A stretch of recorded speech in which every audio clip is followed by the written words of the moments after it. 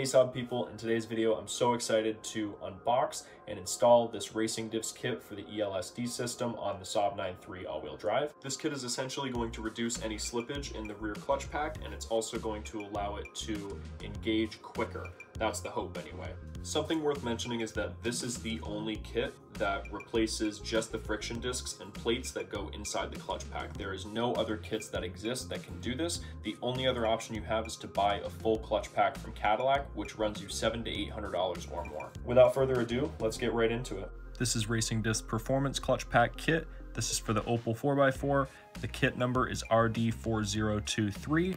I reached out to them and they said that even though this is meant for an Opel, it's the exact same thing as a Saab ELSD rear diff. The kit comes with brand new plates and it also comes with brand new friction discs as well. What tripped me up in the beginning because this kit didn't come with any real direction, the flat plates here come in two different sizes.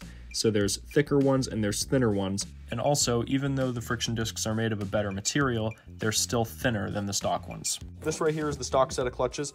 The stock setup has these very thick plates on the farthest inner and farthest outer sides. We're gonna need to save these to reuse them. There's friction discs here in the middle, and there's also thin plates in the middle. They give us friction discs, they give us thicker plates that go in between, and they give us thinner plates to go in between. They want you to mix and match these plates with the friction discs in order to match as closely uh, to your stock height as possible. They really want you to have it a little bit over. Uh, I emailed the company and that's what they said. You can see on the left here circled is the stock friction disc. You can see it only has little dots on it that are friction material versus the friction disc on the right that is the performance one. The whole thing is made up of friction material. This is going to be a lot more effective. For this install, I have already done a bit of the math. I will show it on the screen here. It's really important that you listen to the math, even though I've done it so you don't have to. You need to know what you're getting into. There are nine friction discs. Each one is 1.6 millimeters on the stock setup, and there's eight thin plates. Each one is 0.9 millimeters. So without the two thickest plates, we're at 21.6 millimeters total. This is where stuff is going to get a bit confusing. In the Racing Diffs kit, they gave us way more material than we need. They gave us eight friction discs at 1.5 millimeters apiece, seven thin plates at one millimeter apiece, and four thick plates at 1.5. All this together equals 25 millimeters, which is way over what we need. So I've done the math and mix and match plates until I got to the right number. So we need to be just over our stock number of 21.6 and to get here we need to use four thick plates which will equal 6 millimeters, three of their thin plates which equals 3 millimeters, all of the friction discs, which is 12 millimeters altogether, and we're gonna use one of the silver stock thin plates, and that will get us to exactly 21.9 millimeters. In road testing, this setup has worked perfectly for me.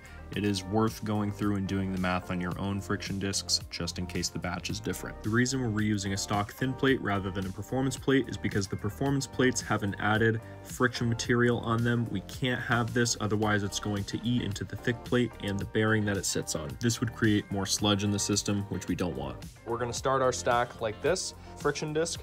I'm going to do a thick plate, a friction disc, a thin plate, friction disc, thick plate, friction disc, thin plate, friction disc, thick plate, friction disc, thin plate, friction disc, thick plate, friction disc. We have extra thin plates here. We need these to be as close to the stock thickness as possible so we don't get any lashing back and forth. We don't want any slippage either. I did the math and this orientation works out perfectly. I guess I'm gonna go ahead and get this installed on the car. There's supposed to be about a thousand milliliters of fluid that came out of this and we've got about that much. So not really anything at all. So we finally got the clutch pack housing off the side. We're gonna go ahead and take this thing apart and see what's going on. First thing we're gonna need is some type of a pick because we're gonna have to remove this here clip.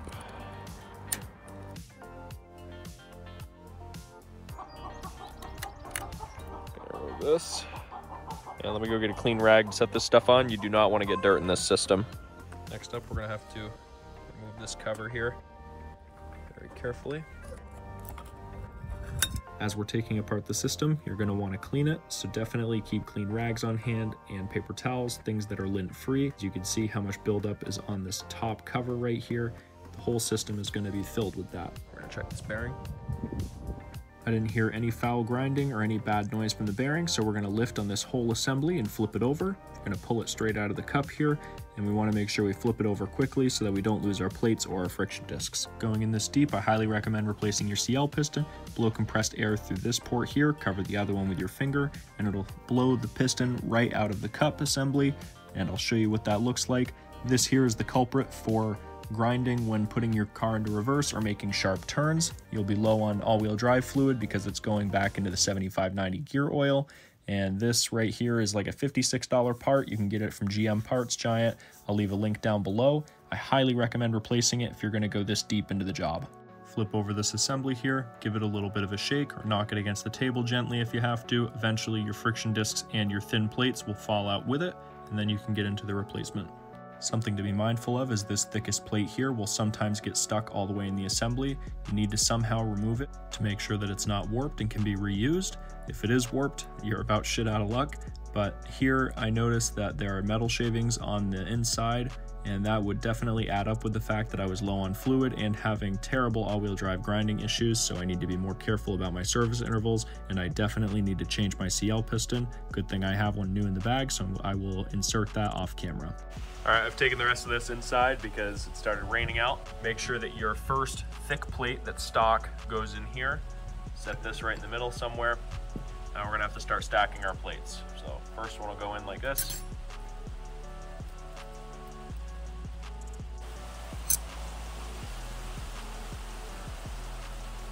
Now I'm quite literally just using the stack that we made in the very beginning of the video where we were alternating the thick plates, the friction discs, and then the thin plates. I'm just reconstructing it inside the assembly. Just like that, I'm gonna keep going until this whole stack is in there. Once you're all set with stacking, put on your last thick plate up top here. Take an extra thin plate here just as a spacer.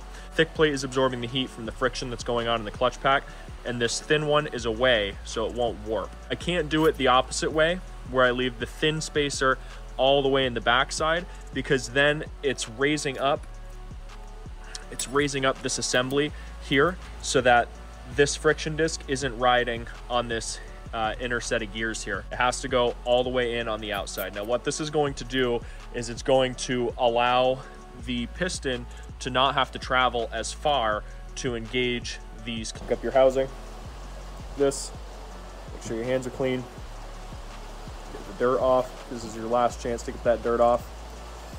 Take it like this.